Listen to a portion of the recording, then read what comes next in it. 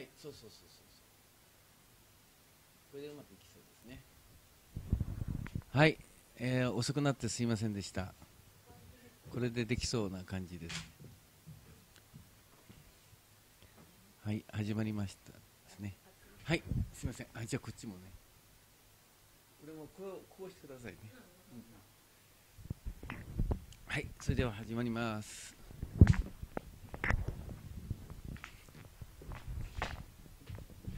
おはようございます。おはようございます。ハレリア。遅くなってごめんなさい。ちょっとあの、えーサタンが邪魔しております。えーえー明けましておめでとうございます。主にあって、イエス・キリストにあって、新年明けましておめでとうございます。えー今日は元旦ですが、1年の始まりですが、あのー本当の元旦、本当のお正月のことは後で説明しますので、皆さん、お正月とは何か、元旦とは何か、なぜおおめでたいのか、そのおめでたい、ただただ新しい年が来ておめでたいのではないんです。ね、そのおめでたい理由があるんです。ね、その理由を知ることによって、本当におめでとうという気持ちになります。ねそれは後ほどゆっくりお話ししますけれども、えー皆さん、本当にですね、えー兄弟姉妹は、この新しい年にになるということは、一つの神様からの励ましなんです。神様がその新しい年に新しいことをされる。神様がその、えーご計画があるということ、ね、もし皆さんカレンダーがなかったらですね、えーそうく区切りがないでしょ？カレンダーがなかったらいろいろ困るじゃないですか、ね。えーもちろんそのいろんなあの農業で種をまくとか収穫とかそういうことにも使えますけれども。カレンダーの本当の意味は神様のその計画。神様が人類に与えている計画を知ることなんです。神様にはその人類に与えた歴史があるんです、ね。えーアダムとエヴァから始まってアダムとエヴァから人類が始まったんですよ。もう進化論じゃないんですよ皆さん。そそこがもし進化論だったら始めがないんですよ。もう進化論だったら初めはアメーバですよ皆さん。アメーバ TV アメアメーバ TV じゃないですけど皆さん人類の最初がアメーバだったら惨めですよ皆さんね。ぐにゃぐにゃぐにゃですからね皆さんね。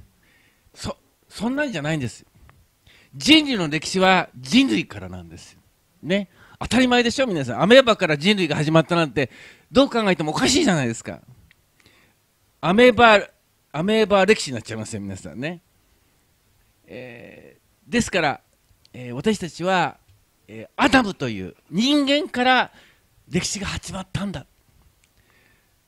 それが神様の計画です。そして始めがあれば終わりがあるんです、ね、この終わりというものがあの再臨なんです。イエス様が来るというのははいそれまでよということなんですね。ですから、えーこの人類の歴史6000年ぐらいの歴史があります。その歴史の中で私たちは今どこにいるのかこれからどうなるのか。過去はどうだったのか。それを知ってるか知らないかで人生大違いなんです。だってそうでしょ皆さん。多くの人はね異常気象だ。温暖化だ。これからどうなるんだろう。途方に暮れてるじゃないですか皆さん。そこに解決ないじゃないですか。もう今からですね皆さん二酸化炭素をやめよう。二酸化炭素を排出ややめよう。減らそう減らそうとって。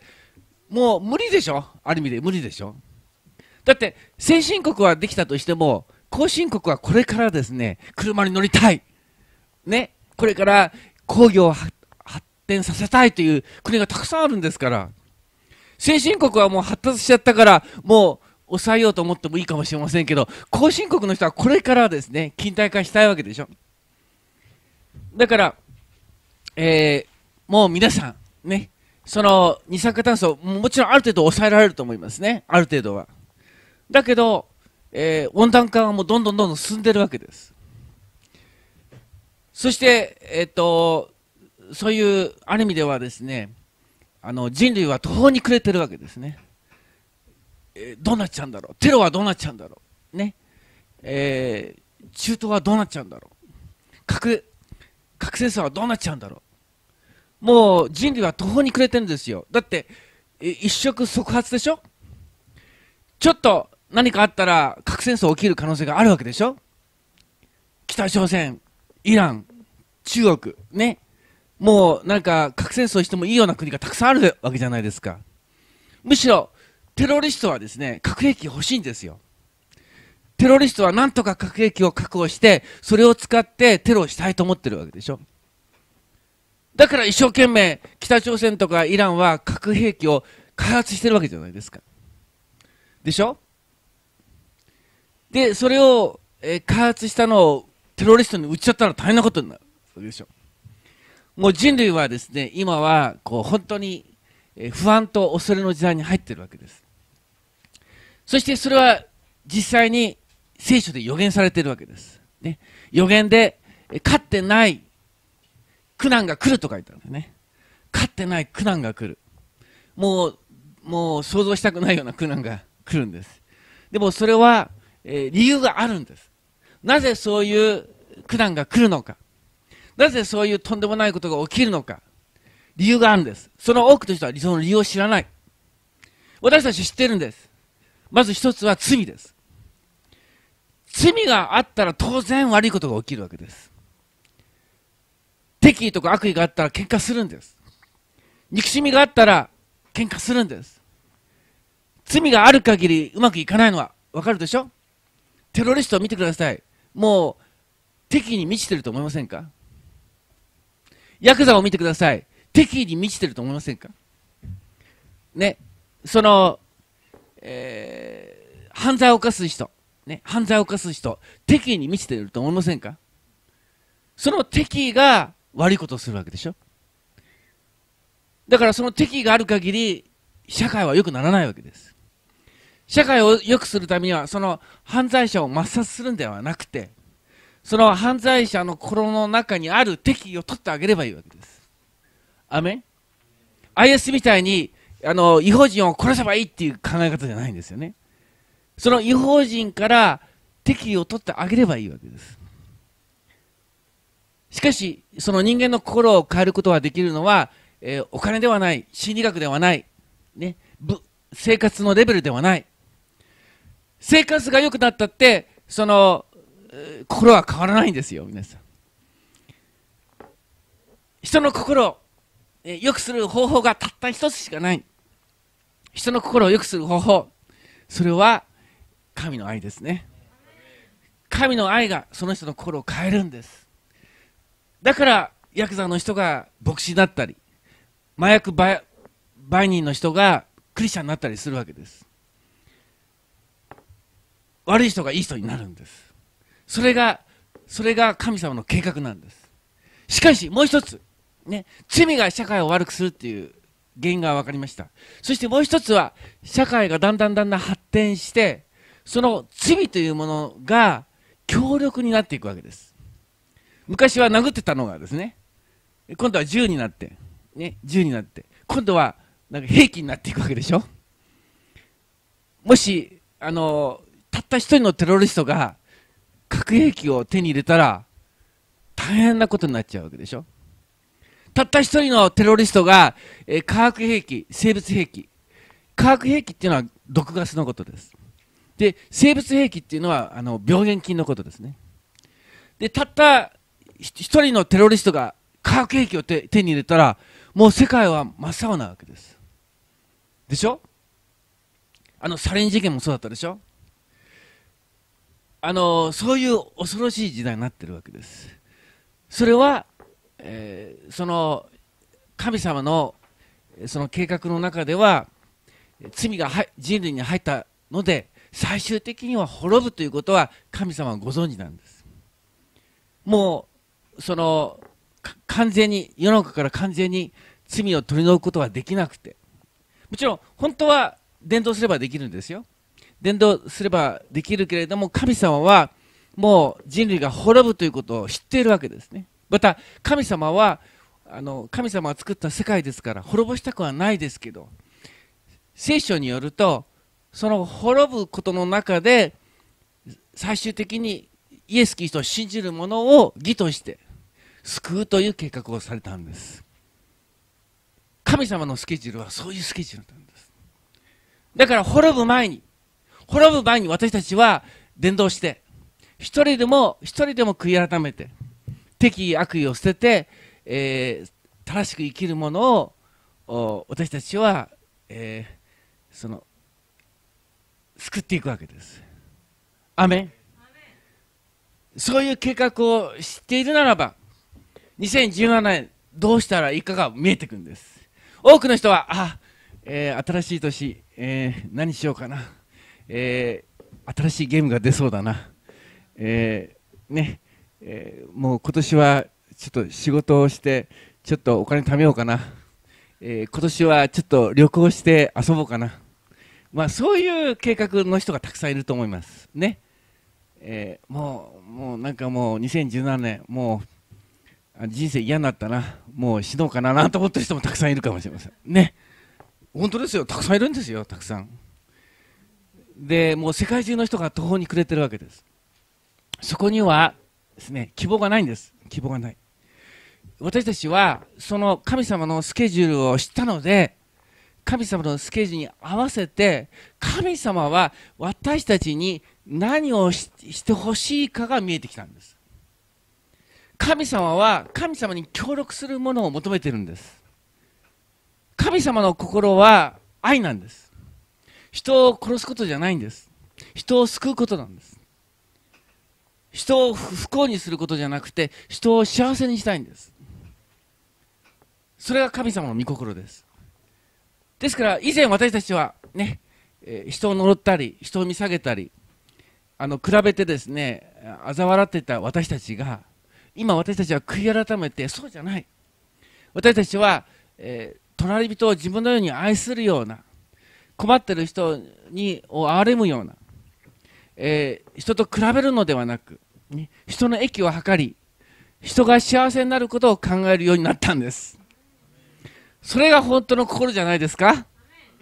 ね、それが本当の心ででしょ？人のことなんてどうでもいいとか、ね、他人のことは知らないよとか、それはおかしいですよね。自分の、自分のことしか考えないのはおかしいと。そそういうことに気づいた人は、えー、だんだんだんだんイエス様のに近づいてくるわけですね。イエス様は自分を捨て十字架にかかったわけです。自分を捨てたわけです。命を捨てたんですね。どうしてですか？人を救うためじゃないですか。人を救うために命を捨てる。これが私たちの模範です。私たちもそのような人生を送るべきです。自分の人生を捨てて、自分の命を捨てて、人を救うような、また人を愛するような、そういう言い方を私たちはするべきじゃないですか？ですから十字架は私たちが救われたものでもあると同時に私たちの模範でもあるわけです。十字架は、えー、神の愛が現れてるんです。十字架は神様の清さを表してるんです。つまり罪は罰せられなければならない。私たちの罪は罰せられなければならないという清さを表してるんです。正しさを表してるんです。つまり十字架っていうのは私たちの罪が罰せられた場所なんです。私たちの罪が罰せられなければならない。でも、もし私たちが罰せられたら、あの、私たちが滅ぼな、滅びなきゃいけないけれども、イエス様が代わりに死んでくれたという神様の正しさ、そして、えー、清さを表してるんです。そして愛を表してるんです。ですから、その私たちは十字架を崇めます。十字架に神様の、えー、栄光が現れてるんです。十字架に神様のご性質が現れてるんです。十字架にかかっているイエス様を見たときに、私たちは神を知ることができるんです。神の愛を知ることができるんです。ですから私たちは、そのイエス様を誇り、十字架を誇るために集まってるんです。今日は元旦です。ね皆さん。元旦はねまさに1年の始まりですけど、えーこの日が日曜日だということは神様に感謝します。なぜかというと元旦はですね日本で言えば初詣ですね。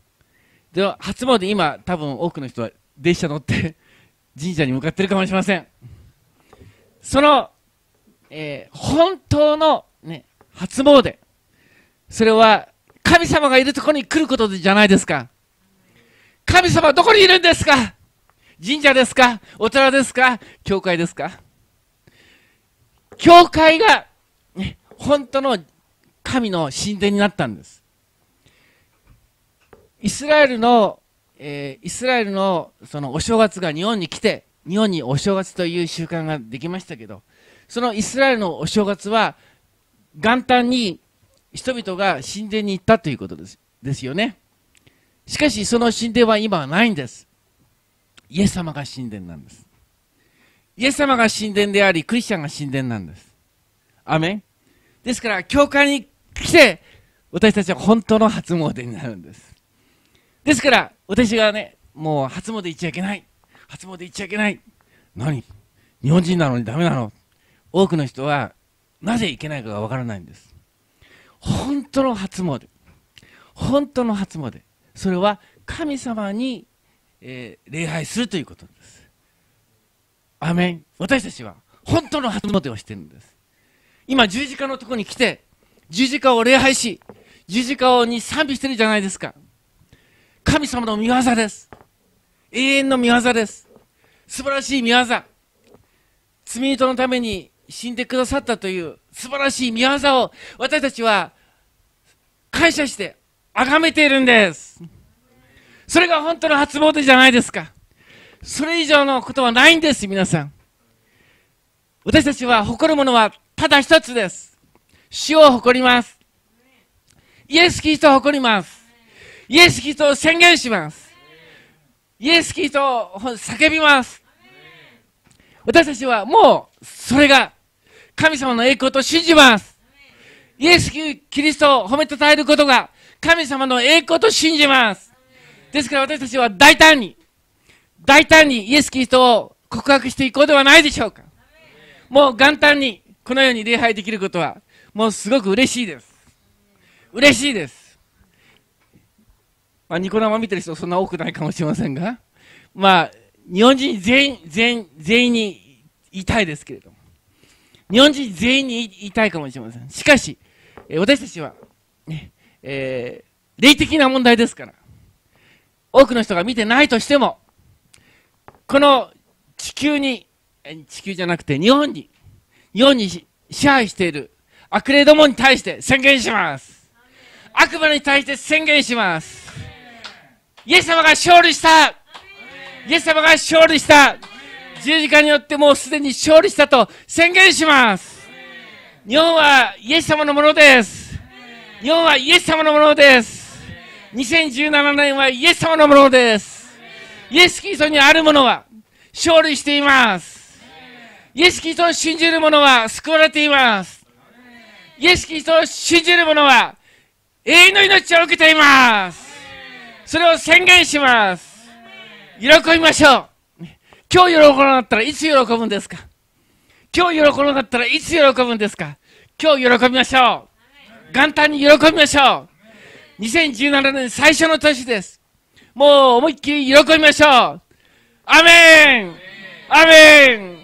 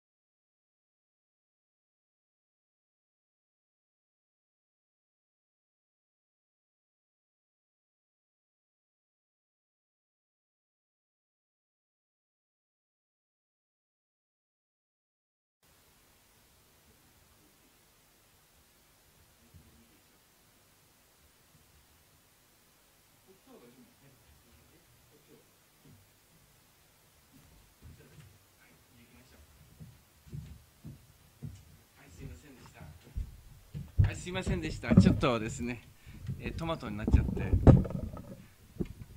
トマトジュースになっ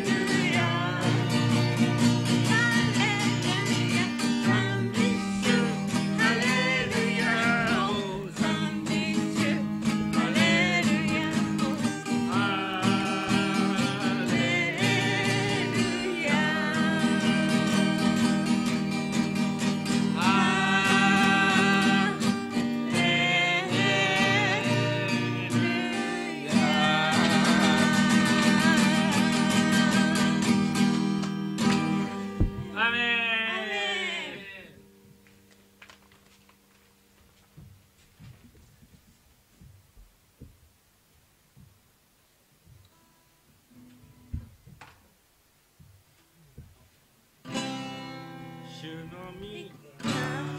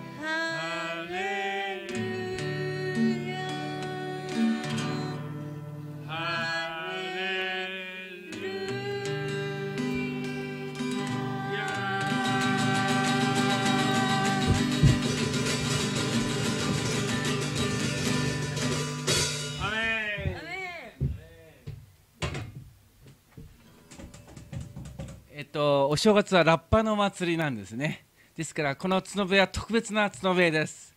イエス様の再臨を待ち望む、えー角笛です。アメン。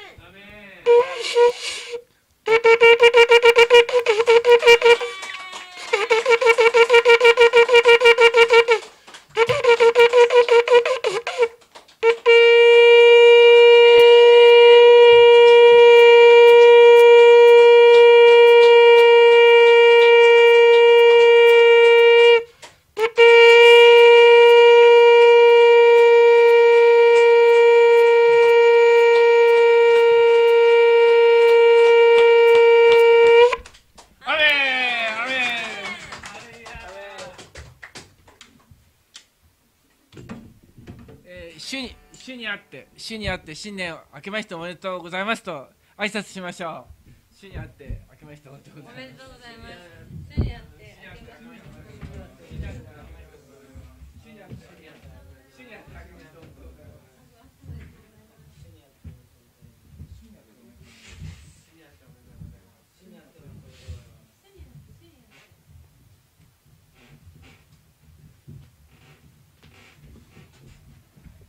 あのその主にあってというのが大事なポイントですね。ただ新しい年が来たからおめでたいということじゃなくてちゃんとあの喜ぶ理由お祝いする理由があるんですね、えー喜ぶ理由お祝いする理由があるんです、えー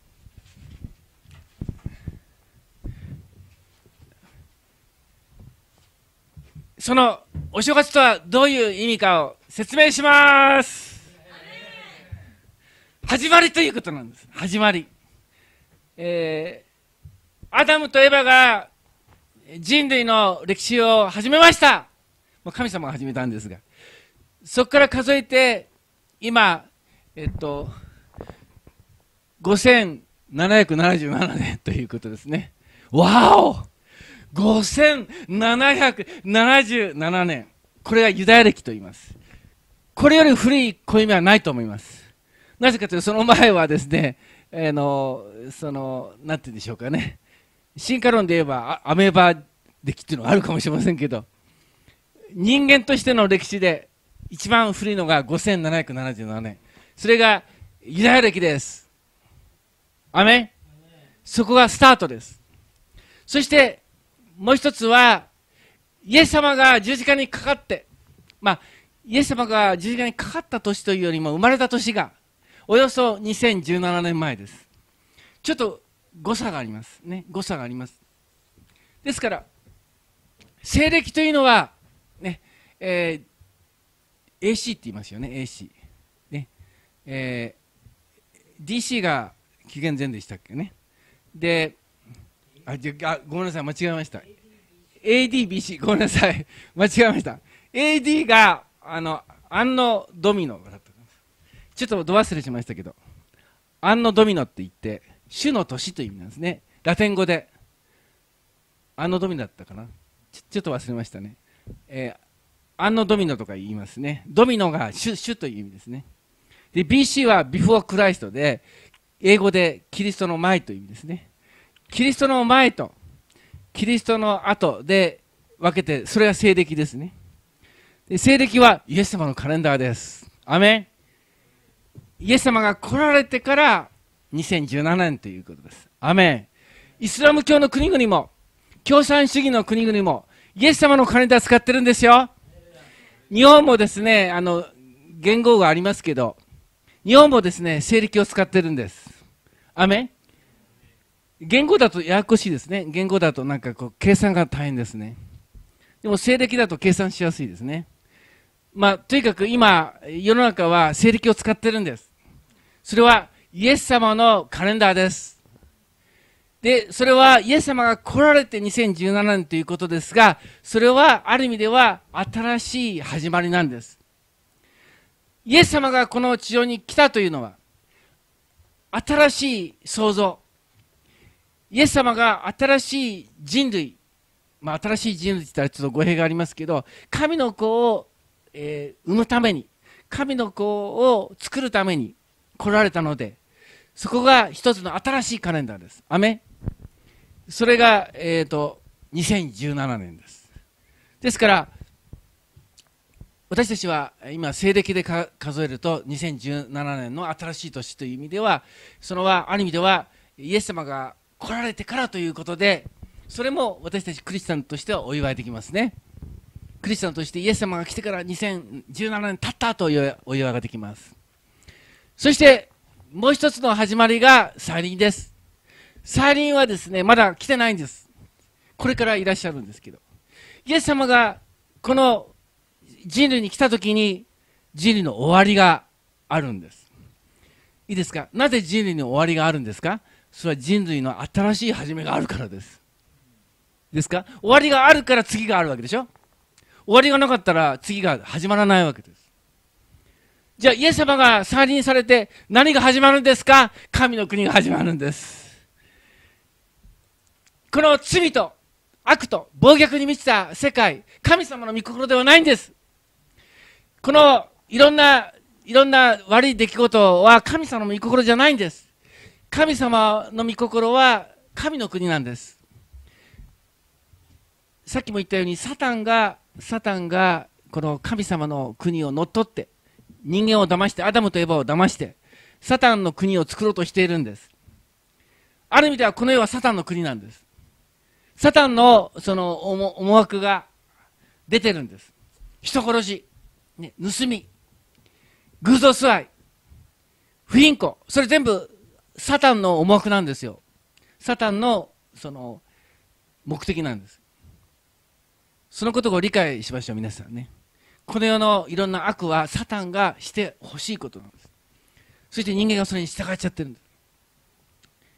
人間が罪人というのはそういうことなんです。人間が罪人というのはサタンがのしてほしいことをしてしまうんです。いや、私自分でしたんしてるんですよ。私は自分の気持ちをやってるんですよ。自分の欲を満たしてるんですよ。それがサタンの心なんです。多くの人はサタンに、サタンの心を持ってるということに気がつかない。罪というのはそういうことだ。罪というのは神様に逆らう心でしょ。神様に逆らう心。で、そのササタンに、えー神様に逆らう心を持っているということが罪ですから、多くの人はそれに気づいてない。私は自分に従っていると言っていても、それは自分に従ってるんじゃなくてサタンに従ってるんですけど、そのことに気づいたのがクリスチャンです。クリスチャンは自分がどうして悪いことをしてしまうのか悩んで悩んで悩んで、自分を責めて自分を責めて、ああ、私はなんと惨めなんだろう。私はなんと、えーどうしてこんな悪いことしてしまうんだろうと気づいた人が、そのことを、ね、そうか、私は神様に逆らっていたんだ。神様に敵対していたんだ。えー神様の言うことを聞かないで、サタンの言うことを聞いていたんだということに気づいて、悔い改めて、イエス様許してください。私の罪を許してくださいと。そのように心を入れ替える、ねえーその生き方を変える、立場を変える、それをしたのがクリスチャンです。単なる宗教の一つじゃないんです。単なる宗教の一つじゃないんです。人間の根本的な本質なんです。人間の根本的な本質に気づいたときに本質を変えてほしい。自分の力では変えられない。ね、いろんな科学じゃ変えられない。皆さん、医学で人間の本質変えられないんです。教育で人間の本質は変えられないんです。心理学で人間の本質変えられないんです。心理学で犯罪者を構成させることはできないんです。医学で薬で犯罪者を構成させることできないんです。本質が、本質を変えなきゃダメなんです。アメ本質です。それは神様との関係です。神様との関係が悪ければどう転んでもダメだということです。神様に敵対していたらどう、どうしようもないということです。それが本質なんです。それが本質です。神様が作った世界で神様に逆らったらうまくいかないのは当たり前です。でしょ？日本の国の中で日本の法律を違反したらどうしようもないでしょ？皆さん日本の国で法律を犯し続けたらいつか捕まるでしょ？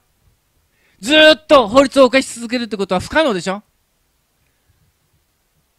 日本の法律があるから。でしょ？私は捕まんないで逃げて逃げて逃げて、警察から逃げて、刑事から逃げるってだって、いつか捕まる、捕まるわけです。まあ、捕まんないで一生を得た人もいるかもしれないけど、まあ、普通は捕まります。それと同じです。神様が作ったこの世界の中で、神様に逆らって生きることはできないんです。それが終わりの時です。終わりの時は人類がもう、ね、神様がもうダメだよ。もう、もう我慢できないよ。もう、もう許せないよっていうのが終わりの時です。神様は正しい方です。神様は清い方です。もう本当に忍耐されて、忍耐されて人間の人間の悪を忍耐されてるんです多くの人が言います神がいるならなぜこんな悪いことが起きるのか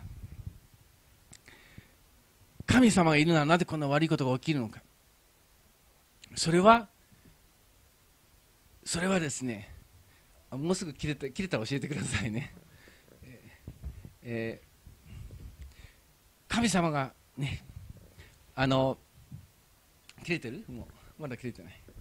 大丈夫？もうすぐ切れますから。神様がいて悪いことが起きるのではないんです、ね。神様いないから悪いことが起きるんじゃなくてその悪いことを神様が忍耐してるということ。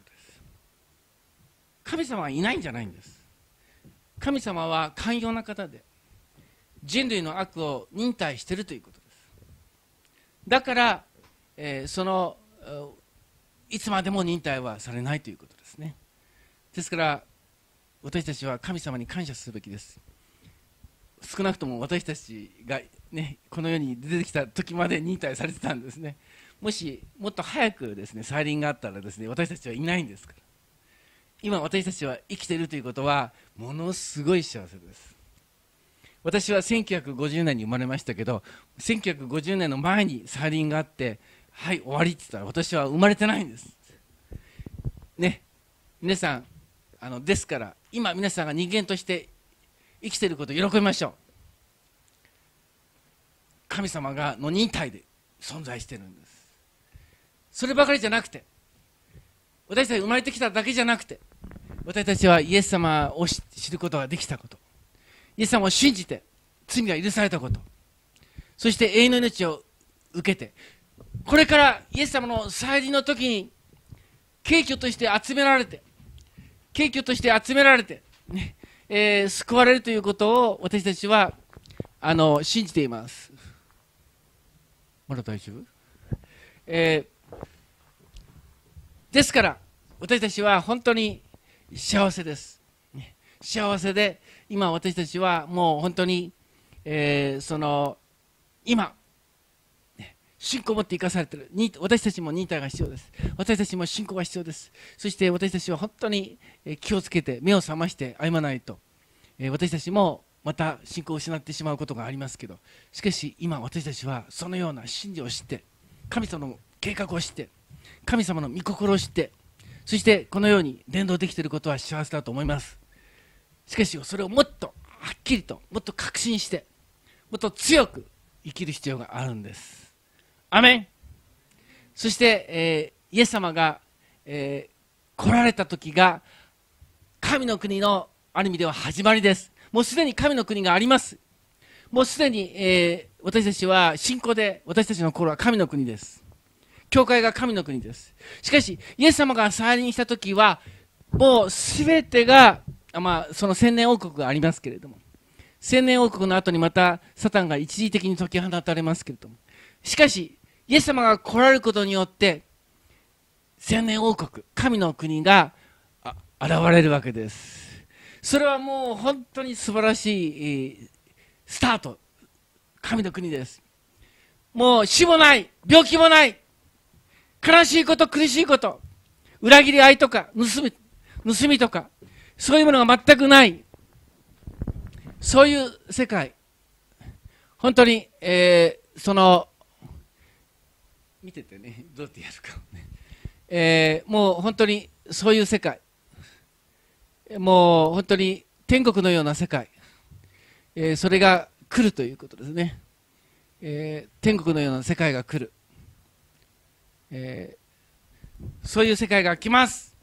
ですから再臨が新しい神の国のスタートです。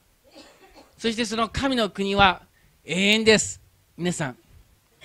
えーユダヤ教はのユダヤ歴は永遠じゃなかったですね。西暦もある意味では永遠じゃないんですね。そのあカメラが反対。じゃあこれこれちょっと見えづらいですけどこれですねあわかったねイエス様が再臨されて新しいカレンダーができるわけですね。再臨がスタートになる。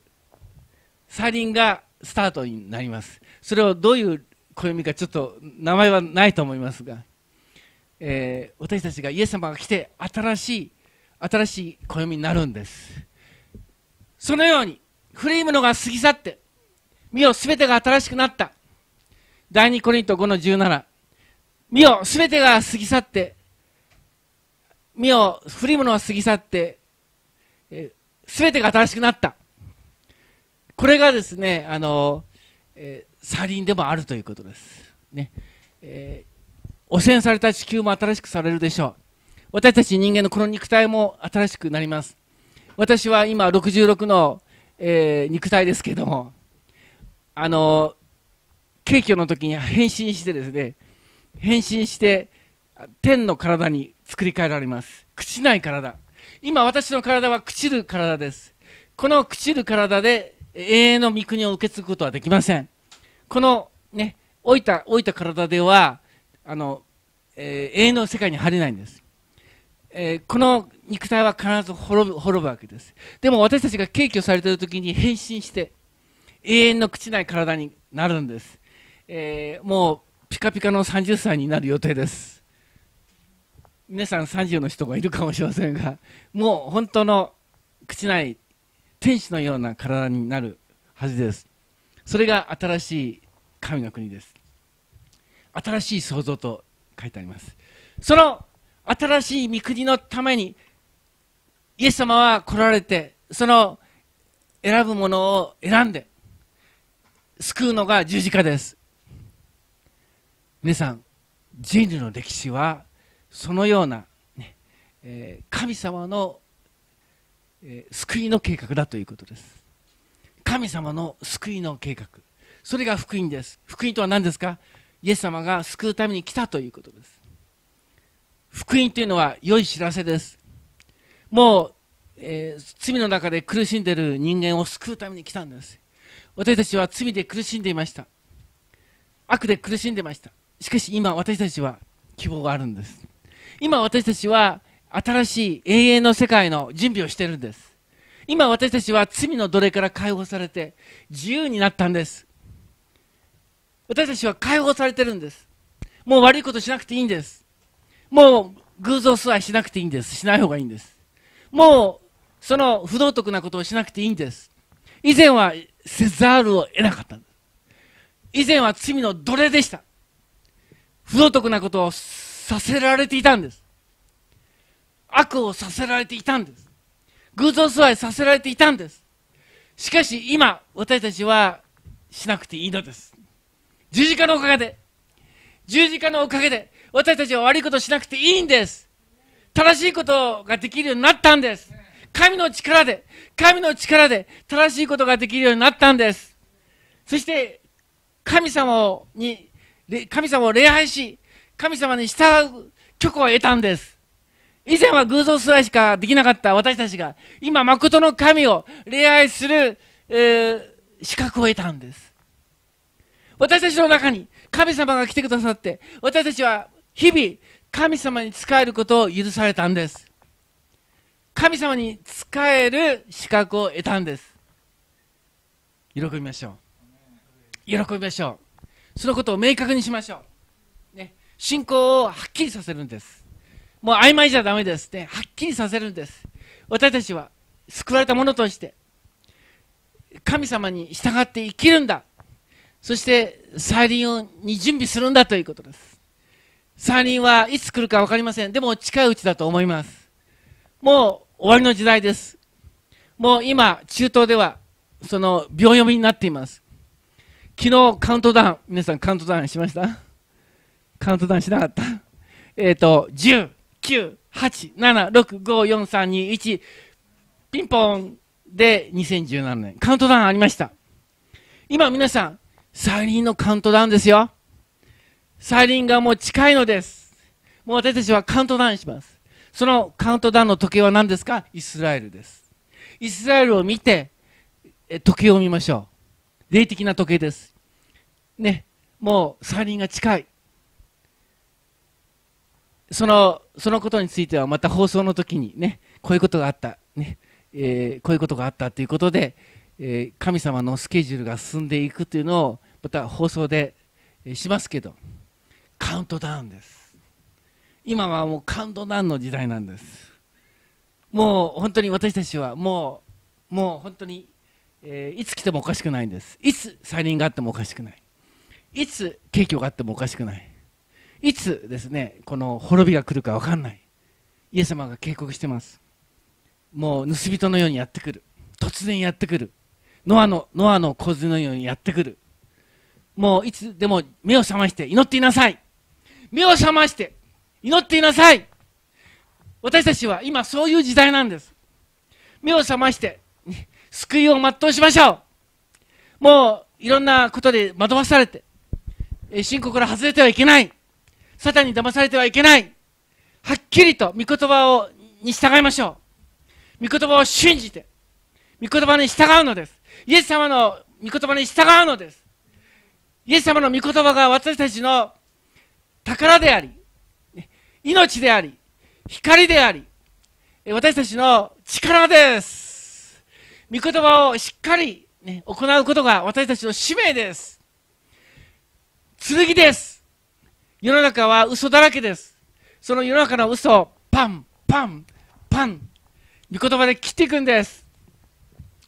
あれは進化論は嘘えー輪廻転生は嘘ね、背筋主義は嘘もう学歴主義は嘘ね、えーもうすべての嘘切っていくんです御言葉で切っていきましょうしがらみを切る鎖を切る自由になりますもうみんなはいろんな、いろんな、あの、チェーンで縛られてます。ね。もう、この世の見え、ね。えーにえー人の目、世間体、ね、プライド、ね、そしてコンプレックス。もう、いろんなチェーンで縛られ、こんな感じになって、助けてって、このみんな、なってるわけです。クリスチャンでも、うー私クリスチャンなのになんでこんな縛られてるんだってなってるんです。御言葉で切るんです切るんです皆さん2017年もっと自由になりましょうもっと解放されましょうもっと私たちは神の子なんですから、神の子らしく、自由に解放されて生きるべきじゃないですか。世の中はもっと絞られていきます。世の中はもっと恐れと心配でがんじがらめになってきます。しかし神の子はもっと自由になってきます。イエス・キリストを信じない者はもっと苦しんでいきます。イエス・キリストを信じる者はもっともっと清くなります。もっともっと正しくなります。もっともっと自由になります。ですから、お正月というのは始まりを意味します。えっ、と、ユダヤ歴で、その1月というのは、聖書では、出エジプト記に書いてあるのは、エジプトで、ね、エジプトで、その門と鴨居に、あの、この子羊の血をこう塗って、えーその過ぎ越した。呪いを呪いが過ぎ越した。その時から1月にしなさいって神様は言ったんです。つまりそれはイエス様の十字架ですよね。そのイエス様の十字架から1月にしなさいと言ってるわけですね。それが初めだということです。つまりそれはえーっと入り口を表します。入り口ね。イエス様は私は門だと言いました。つまりイエス・キリストを信じることです。イエス・キリストを信じることが始まりです。イスラエルはそこから1月になったんですね。1月始まったんです。そこを最初の月にしなさいと言ったんですね。杉越の時を。ですから今私たちは皆さんはねイエス・キリストを信じたのでその信じた時から始まったんです。まだ信じてない人は始まってないんです。まだ信じてない人はね素晴らしい人生が始まってないんです。奴隷の人生が続いてるんです。ですから奴隷の人生を終わらして神の子としての人生を始めるためにはイエス・キリストを信じることによって始まるということです。アメン。お正月はそういう意味ですよ。お正月は古いものは過ぎ去った。見よすべてが新しくなった。お正月はイエス・キリストを信じることです。イエス・キリストを信じて本当のお正月本当のお正月すべてが新しくなった。すべてが新しくなった。すべてが新しくなるんです。そしてイエス様の再臨の時にそれが成就するんです。信仰が成就して本当に目に見える形であなた方は祝福された者たち神の御国を受け継ぎなさいと言われるんですね。あなた方の行いに行いに対する報いを持ってきたよ。イエス様が再臨するときに皆さんの信仰による行いの報いを携えてきます。よくやった。よくやったと。神イエス様に褒められる時が再臨です。そういうことなんです。そういうことなんです。ですから主にあって明けましておめでとうです。イエス様を信じてなければめでたくない。罪のままでめでたくない。罪の奴隷のままでめでたくない。呪いを持っててめでたくない。縛られててもめでたくない。でしょ？本当にめでたいのは解放されて自由になって神様に認められて神様に、えー保証されて未来が保証されて本当にめでたいんです。兄弟姉妹の皆さんですから信仰をこの信仰を下げてはいけません。もう本当に私たちの信仰を引き上げて本当に喜ばなきゃいけません。本当に喜んで。ああ私は本当に祝福されてるんだ。愛されてるんだ。素晴らしい未来があるんだと。喜ぶべきです。もうお正月の一つの気持ちは喜びでしょ。もう子供は喜ぶじゃないですか。今の子供は喜ばないかもしれませんが、えーもうお正月って喜びです。私たちは神の子供ですから喜んで喜んで喜んで喜んで喜んで喜んで喜びましょう。アメン。アメン。アメン。ハレルヤ。アメン永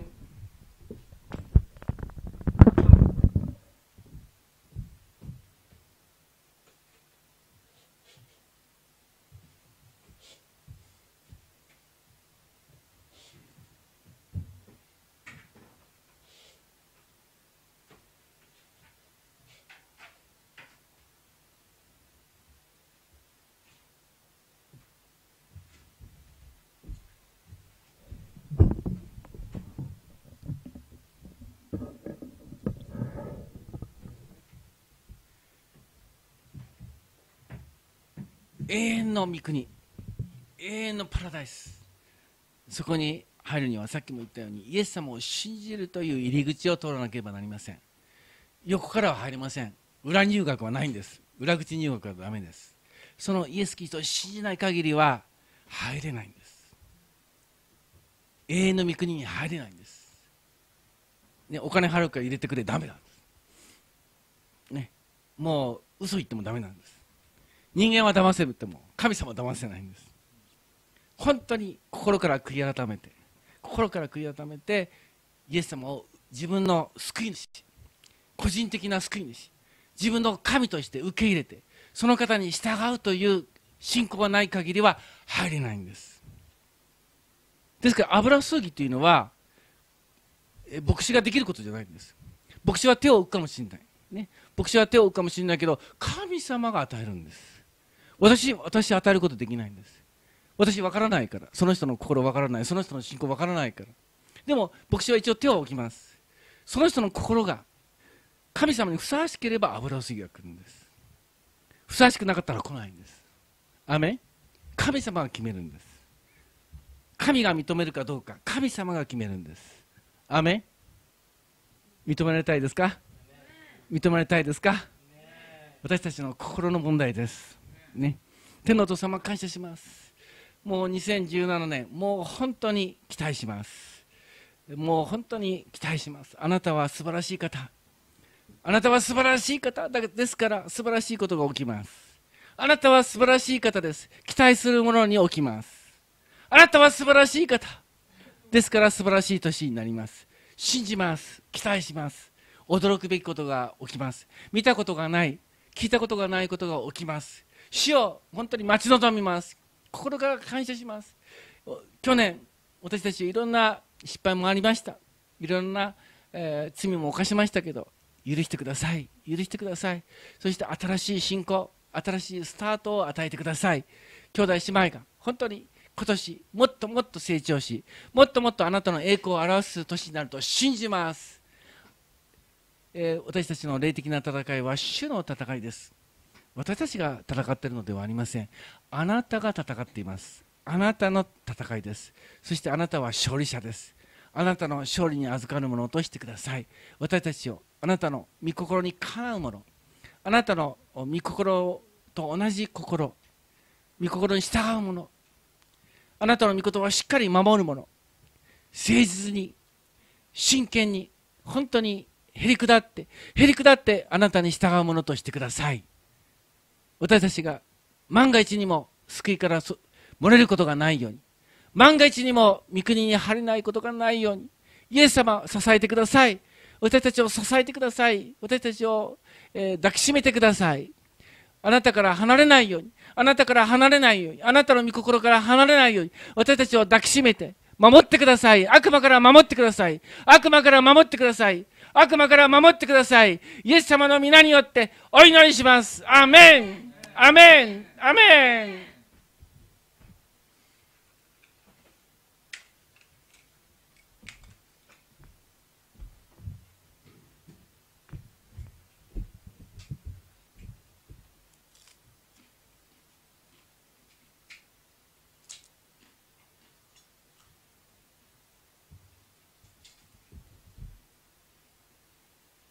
パンはイエス様の体を表します。でそれを裂くというのは十字架を表します。十字架によってイエス様の体は裂かれてるんです。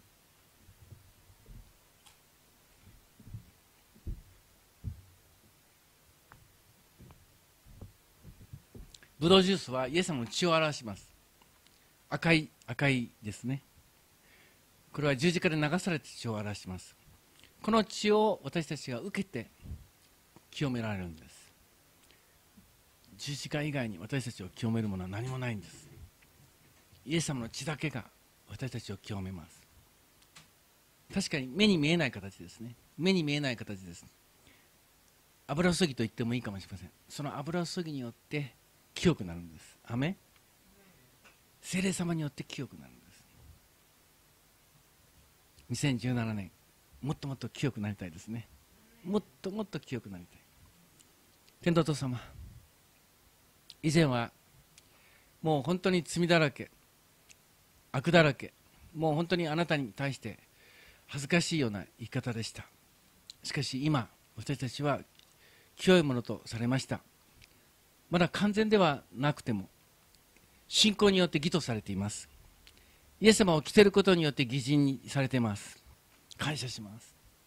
そしてそれにふさわしいものと変えてください。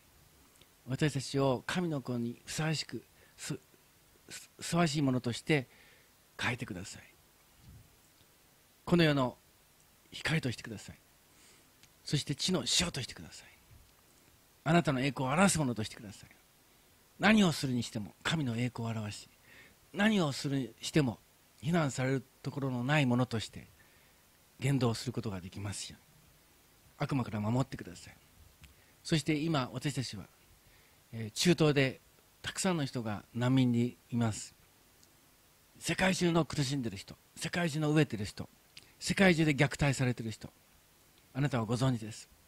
彼らに救いを与えてください。彼らに食べ物を与えてください。彼らにでも一番はあなたをしと出会ってあなたを信じる機会を与えてください。クリスチャンを使わせてください。クリスチャンがたくさんの人たちに出会ってイエス様を述べ伝えて救われますように。救われますように。テロリストたちテロリストに触れてください。彼らが救われますように。イスラム教の人たちに触れてください。彼らが救われますように。共産主義の人たちに触れてください。彼らが救われますように。無神論者に触れてください。彼らが救われますように。イエス様どうぞ。力強い御手が力強い御手が世界に働きますように。悪魔を退け悪霊どもを追い出して救われますように光が照りますように日本の上に光ってください。世界の上に光ってください。あなたは光です。あなたは光です。クリスチャンを通して光ってください。光ってください。光ってください。明るくなりますように。人々の心が明るくなりますように。この社会が明るくなりますように。あなたの光で明るくなりますように。悪が消えていきますように。悪が消えていきますように罪が消えていきますように悪霊どもが退いていきますように。イエス様あなたの勝利あなたの勝利あなたの勝利がこの世界を満たしますように。主をお願いします。来てください。日本に来てください。世界に来てください。イスラエルを救ってください。イスラエルはサタンに騙されてイスラエルの神を誤解しています。イエス様が救い主だということを気づいていません。その気づきを与えてください。イエス様こそイスラエルの神だと気づくことができますように。イスラエルを開いてください。イスラエルを導いてください。感謝します。感謝します。イエス様の皆によってお祈りします。アメン。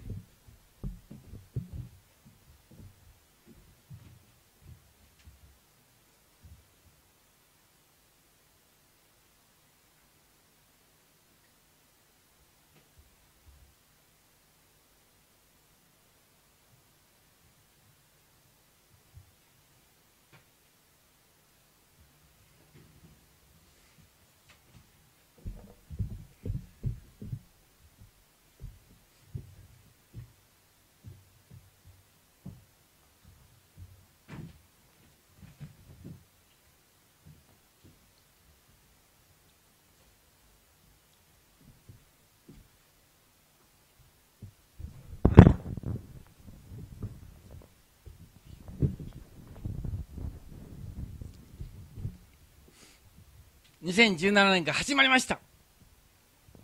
2017年が始まりました。私たちは期待します。イエス様に期待します。皆さんの人生もイエス・キリストを信じて新しいスタートをしてください。イエス・キリストを信じなければまだ罪の生活が続いているんです。そこにそこに決着終終わりを終わりが必要です。皆さんの今までの間違った生活に終わりが必要です。イエス・キリストを信じることが新しくなるんです。新しいスタートになるんです。永遠の永遠の命のスタートとなります。ですから今日は元旦です。皆さんの人生の新しいスタート。新しいスタートにしましょう。2017年が皆さんの新しい人生のスタートにしましょう。アメン。アメン。アメン。アメン。